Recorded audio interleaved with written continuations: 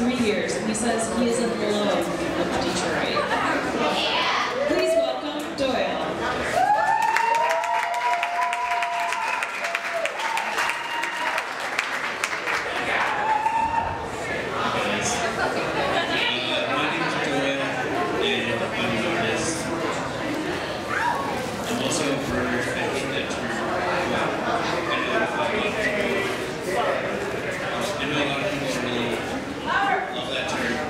не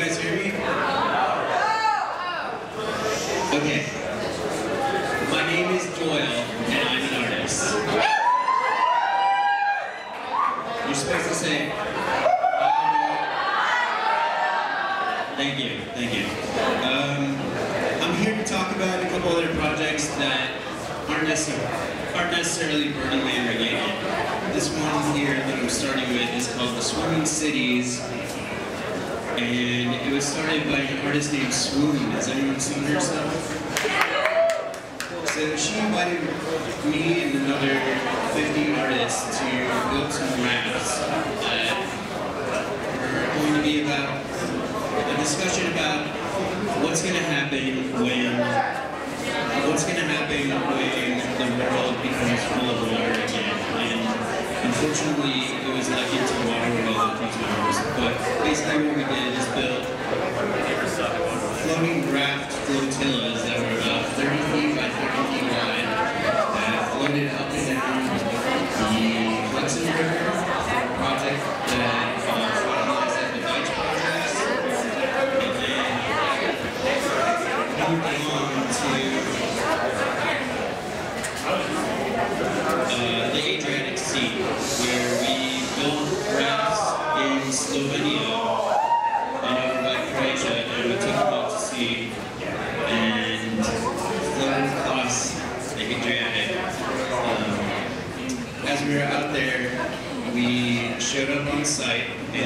like Burning we didn't really have our shit together.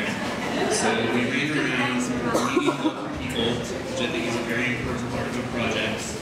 Uh, meeting the locals and starting to collect materials. And what we found was mostly construction debris and uh, old farmhouses that have been abandoned. And we took some of the 2x4s and 2x6s to build the bases of the, of the rafts. And we also used a lot of um, 55 gallon drums and created these mobile cities with about 10 to 15 people on each one and we floated across the Adriatic to go to uh, the biggest art show in the world, the Venice Biennial. That's the coolest thing I've ever seen. So, as we were out there, there were times where we we had built these things, and then we also had to have our captain's license, we had to register with the Italian government, the Italian Coast Guard, we had to have German uh, engineers and safety inspectors come and inspect all of our welds, they had to come and, you know, talk about shear force and the creation of the entire thing, and as we literally built them out of trash, I sat on the deck of this boat. This one here in the, in the front is Alice, that's my boat.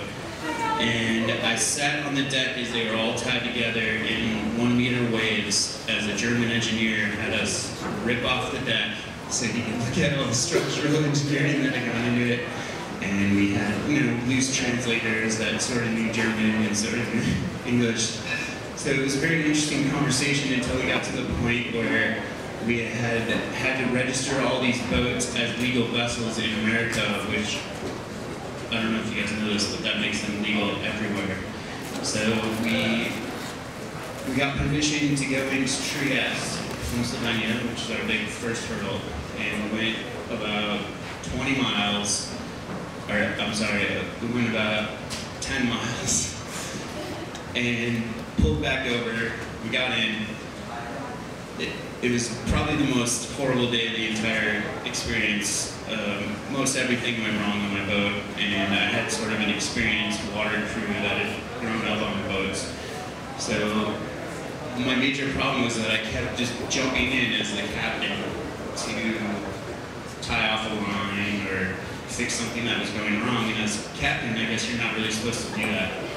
So we got there, and one of the, one of the girls on my crew, this amazing girl, Robin, she was like, "Look, things went really bad today because you tried to do everything yourself instead of letting these guys who are great and that you trust do the things that need to get done, and you can have them, you know, kind of going at the same time." So that was one of my biggest lessons with working with a big group of artists and with just working with other people in general is that even when you are in some sort of leadership role, it's it's a really good idea to not try to accomplish all the tasks yourself. So I think it's been great that everyone's speaking so well about doing these projects and uh, you know a lot of times morale would get really low because we'd be out in the middle of the sea Nice ass. And, and another propeller would break down, and I'd be in a canoe, like trying to straddle some propeller with a 15 foot shaft to try to tie it back together with some bolt that kept falling in the water. And my crew would just be on the boat with the radio turned up to like 13, eating Nutella, um, biscuits, and like throwing a fucking party every 10 minutes. So when, everything got really bad, that was our main stage. We would just kind of tie up together, take a breath, and everyone just go swimming. And as we were doing that, we kept getting closer to Venice, where they would send more of the Italian Coast Guard to come and make sure that we weren't going to, you know, fail. And they kept telling us that there was no way we were going to be able to survive the waters in Venice because the waves were also really high, and uh, we were just floating around in piles of shit, basically. So, we knew that. They kind of knew that. And my, my entire job was to just use these two Italian women to translate for me that we were going to make it and that we were going to go across the Rialto Bridge, which is what we kind of designed for. And soon as we got into Venice, they sent the, the entire Coast Guard fleet in Venice out to meet us out in the sea. And we were, of course, back in this phase where we were kind of so when they showed up, they were very adamant about us just like driving in a straight line, all in unison, like kind of like an I hate to use this, but kind of like some sort of Nazi death parade where we were just like being fed into the belly of the beast, and we all got really freaked out as artists. That were like, no, we're not gonna do what you fucking tell us. We're having fun. So our our main leader was in a separate fishing boat, and she, because when you have multiple captains for each ship, you have to have sort of the ambassador that will speak for all of them because personalities get involved emotions, let's say, and we were all very uncomfortable with being in this row. And when we were coming along to Venice, we pulled into the Laguna de Muerte, which if you speak Italian or even Spanish knows it's like the Laguna of Death. We got in there and we're parked, and as we're coming to leave, we get out and we get about a mile offshore, and a fisherman comes up. He is like screaming in Italian, so I don't know what he really said, but it's something about the Bora, which is the one word I knew, and that's this giant wind that comes off the Alps and will literally push you out into the Mediterranean, which once you're on a floating piece of shit in the Mediterranean, you don't really have any recourse. So this is the one thing that I was worried about being one of the captains is knowing that me and maybe 15 of my friends are gonna die out at sea or something. It's something that just keeps going in your head, like, and meanwhile, everyone's like, the waves, the waves start getting to be like whole three feet, you know, meter tall, and lines are falling into the water. Nobody's paying attention. There's two of us at the engine trying to keep this propeller in the water. Literally, like two of us, and I'm big. I'm like pretty big. So another, another, another big guy and I are like fighting to make this work, and nobody else seems to notice because they're all like doing this party thing. And this thing came over me. Like, it's been about five minutes. We have not gotten any closer to shore. Uh, the wind's only getting stronger. And the fishermen basically just told us we were going to notice that, that, like, somebody who knows something about the water is concerned, so I'm concerned. And I was like, this is it. This is the moment when we're going to fail. And I just kept going. I just kept going. What does that mean? Ten minutes? Put the sign down. Keep talking. Anyway, so as I was saying, I just kept pushing on, and, and somehow magically the other boats like engines broke down and they had to be towed, and for some reason we made it. Like, we just kept pushing through, and we eventually accomplished our goal.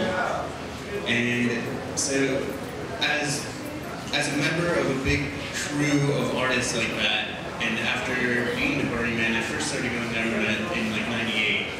So I was about 19 years old, and total gutter punk, traveler, didn't really know or care about Burning Man. I showed up there and I met with the guys from Survival Research Labs. And I saw them, I saw Christian Ristow walk out with a remote control and he had the most destructive robotic sculpture I've ever seen in my life. It was like blowing fire, like 1,500 pounds in any direction, and it's completely modular. And like, these are the guys I need to talk to. I just got out of art school and I read about them. So I went up and I was like, you know, can I help you guys out or anything? Or what do you guys need? And they said, can you build a flamethrower? And I was like, no, but I'm really good with Legos, so if you just show me all the parts, I could probably figure this shit out. And I swear to God, an hour later, I built my first fucking flamethrower.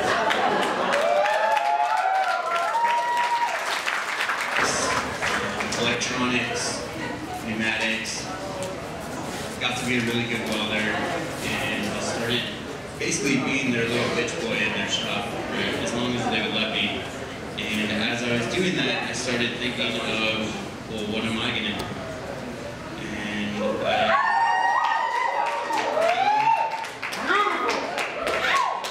I went, I went back out to Burning Man, and I met another light artist named Teddy Lo, who was from Hong Kong. And he and I, have you guys ever seen the robot Heart bus? I,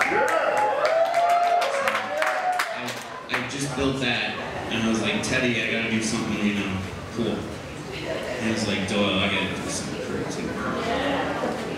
And it was 2008, we started talking about the economy, we started talking about China, we started talking about American manufacturing, and we came up with the idea of uh, a sleeping dragon that was sort of poised, ready to pounce. And we started building it. And I spent about a year and a half working on this thing. And it, just like the boats, it's made literally out of the garbage that I would find around Oakland and San Francisco. And I just started welding them together.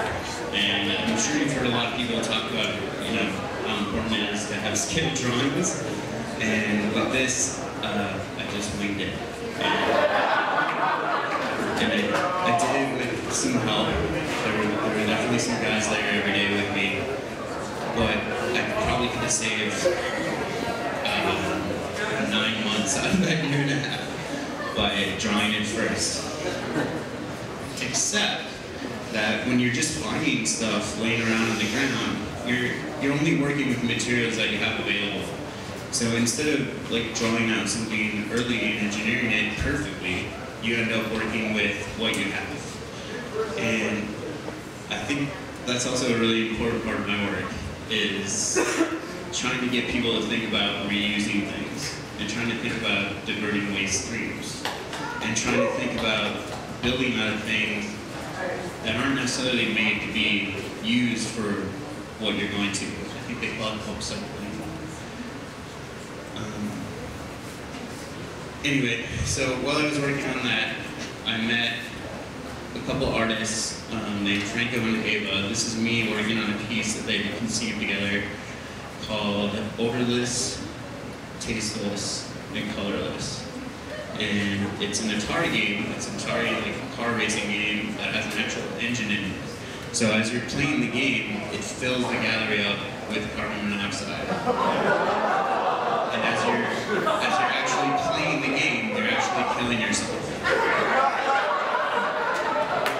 Um, this is another piece that they did on chat roulette, where they they basically fake their own, you know, suicide like Russian roulette, but on chat roulette. Um, they've done a lot of cool work. This one is uh, redoing in Second Life uh, Marina Abramovich Have you guys ever seen this one where Marina and Moonlight like made everyone walk past naked? But they were doing it in Second Life, and it was something that completely blew my mind because I've been working since art school to not be on a computer all the time. I've been working to just build things that were tangible, make things that were real, and not, you know, sit on Photoshop or, or build websites for people. But then I saw what they were doing, and I was like, they're kind of, I mean, they're on the computer, but they're doing such amazing work that's so much more relevant to what's going on in our society. Like, how many times do you see your friends when you're asking a question and then it's like texting some other person, you know? Like, the, the relationship that we have as a society to the computer became really important to me because I had studied the relationship between society and the machine, you know?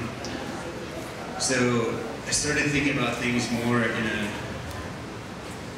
um, technical concept as, as we were working together, and they invited me to speak at this, the CCCB in Barcelona, and another one of the speakers was this guy, James Acord, who is the only person that was ever, let me give him more backstory.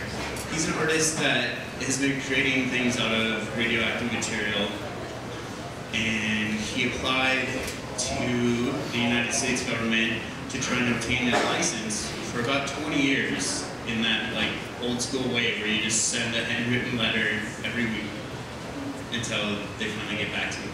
And it literally took him 20 years, and he got it. He got the license and word tattooed on the back of his neck. And a year later, they took it away.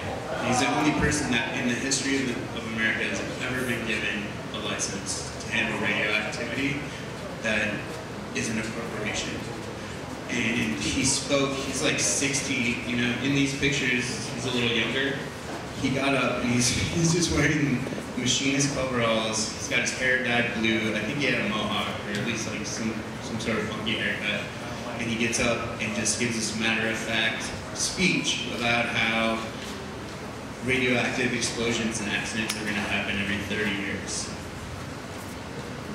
Super heavy, right? A little, heavier than some of the conversations that been having tonight.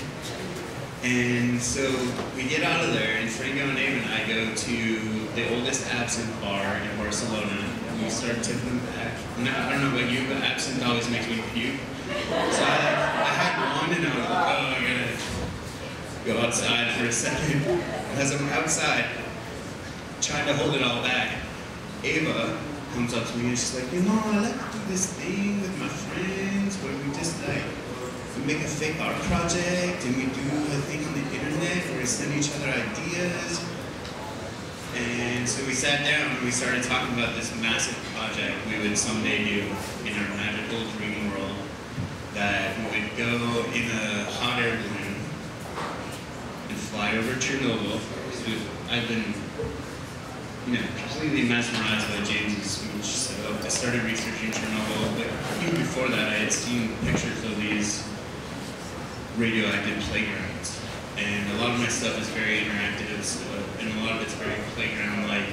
So I'd been fantasizing about seeing these someday. She was like, yeah, you know, we get the hot air balloon, we go in, we get a big hook, we pick it up, and we bring it to like Manchester where the Industrial Revolution started, and we'll just like spin people around and we'll basically be smoking their children with radioactivity. And um, I was like, fuck yeah, that's.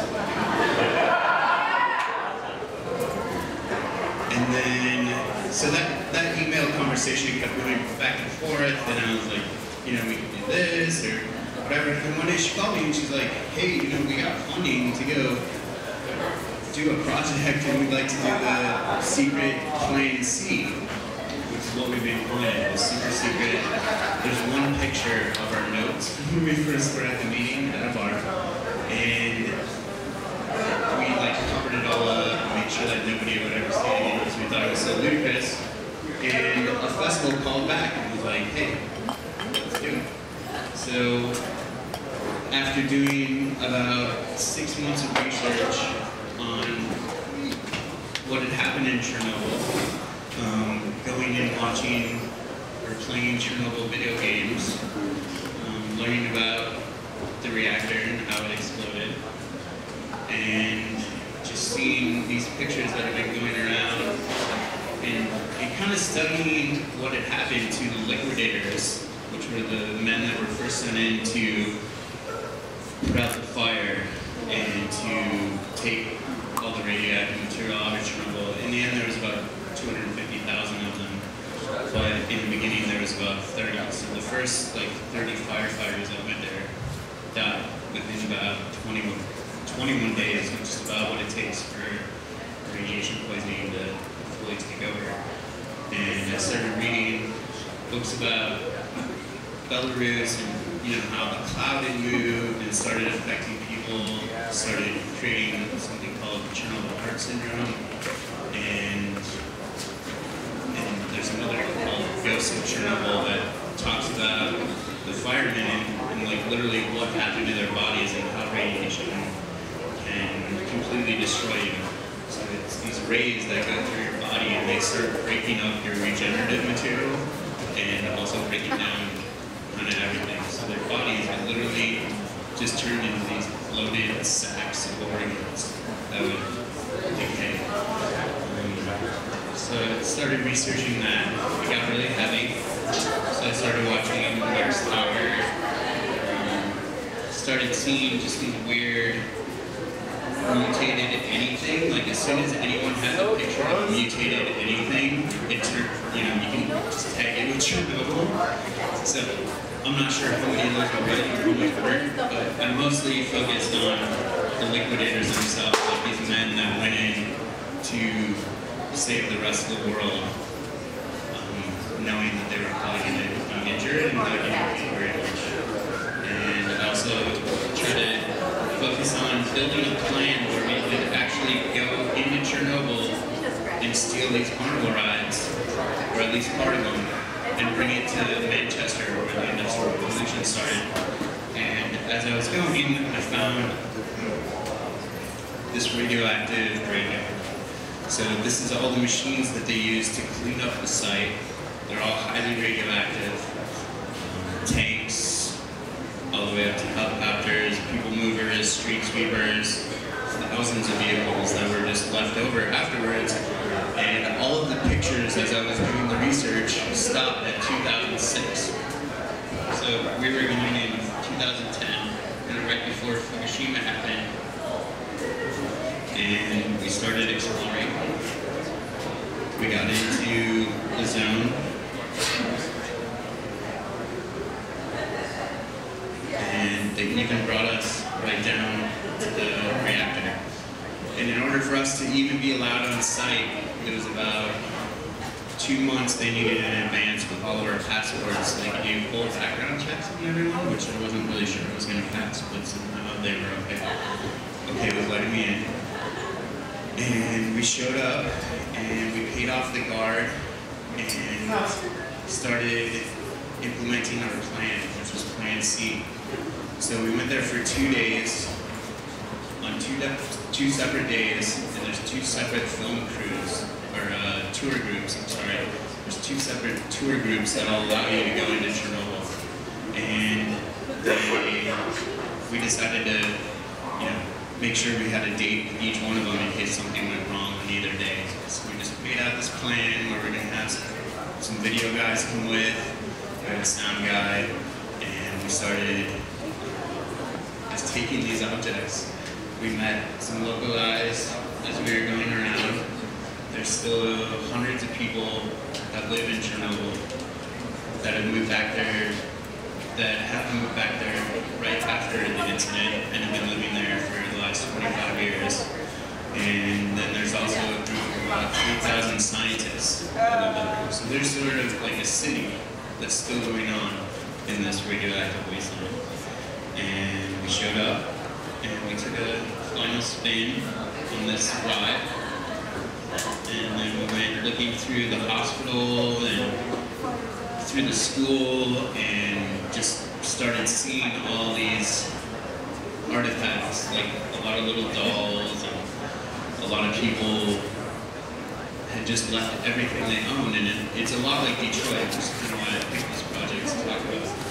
Um, it, it just it, it amazes me to go around in here in some of the abandoned warehouses and see how people have just completely walked away from everything. And then you had 20 years of time painting this beautiful patina on everything, right? So you just see this like glorified decay, and I, I'm still amazed by it here in Detroit and, and kind of everywhere. But we went around and we started finding materials and hospital beds, and they were currently rebuilding a new arc to go over the entire sarcophagus, kind of cover the radioactivity up for another 100 years, even though this first sarcophagus they created is already starting to fail, and there was definitely cracks where you could drive a car through it. It was just an entire mess. And there was always people just like moving around and scrapping stuff. And I was like, our tour guide the first day, you know, what's going on with the vehicle graveyard and why are all these machines here? He was like, oh, we buried the graveyard. All those machines are in a parking lot over here. Yeah. So I asked the second guy, who was probably the most educated guy on anything going on in Chernobyl. If you look up the videos, he's in a lot of those. His name's also Yuri. Apparently everyone in the Ukraine is named Yuri. So he brought us into, into the hospital, into the basement, which is where we saw most of the fire gear and helmets and people's clothing of when they first got out of the fire and it shed all their clothing and then they basically went up into these hospital beds where they spent the rest of their lives for a few weeks um, completely radiated and dying of radiation poisoning. So we continued to look around. We found lots of kid stuff and lots of books and lots of masks that could have been used to like save the people that were there in Chernobyl. And these masks were never given to the people during the evacuation. These masks were only brought out afterwards because people were trying to scrap the little pieces of metal in them. So if you look, there's like no metal left in any of the masks. And they're only there because scrappers and shards. And so, I mean, there's so many parts of this project where it was just mind-blowingly too intense to really tell you guys right now. But one of the moments we had is when we, we went into this, we just did like snow angels in the in the masks, and we went and collected the most radioactive hospital beds.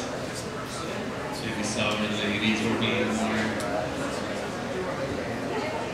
people were abandoning their war machines. And then we also saw amazing other projects that other artists had come in and left there. So if you do have a chance to go to Chernobyl, I would highly suggest it. There's a lot of really cool art projects there. Um, we collected random specimens, and we went back to Manchester with all our material.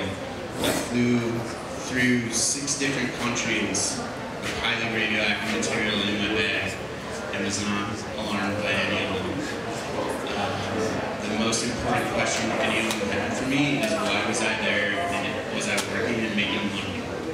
So even when I flew into England, they stopped me and they were like, what are you working here? Are you an artist? Like, you, know, are you take money away from our economy? That was their biggest question. The radioactive shit, they didn't, know, notice or care about. And so we took some of the hospital signs, the beds, just other radioactive scrap. We built a machine called the Liquidator, named after the men that had all gone there to sacrifice their lives for cleaning up the radioactivity.